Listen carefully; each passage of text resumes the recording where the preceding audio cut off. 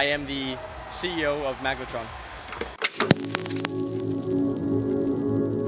Behind us we have a, uh, we have a small booth uh, in which our main objective here is to help people with their, their eventual problems of their, with their computers.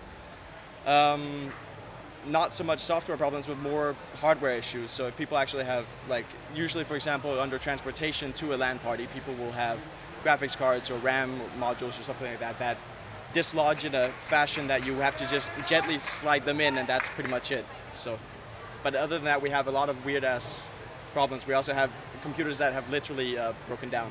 So we are here to help people mainly with their computers, but we're also here to spread our vision, which is we're trying to make PC gaming a an easier platform more than anything else. Because one thing is that we can be sure is that it's it's it's a fun platform and it's it's it's it's more popular than it's ever been, but it's still not easy. So we're trying to make, come up with some ideas that are innovative and different. So for example, right now, it's, it's a small thing, but we have a website that uh, is dedicated for a learning base called Academy, where we make small videos that just explain basic stuff about computers in general. But we will also come with a lot more, including uh, movies on how to build a computer in a way you haven't seen before.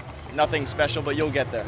And uh, what's coming soon is we're having we're launching our new shop, and this new shop is uh, is different in the way that it's a PC configurator where you choose your components like normal, but the difference is that it's it's super user friendly. It's really pretty, and uh, and and it's it's like relation based. So if you choose components that are aren't compatible in any way, then it will tell you and it will break the relation. So, and that's just this is just the beginning. So, check us out.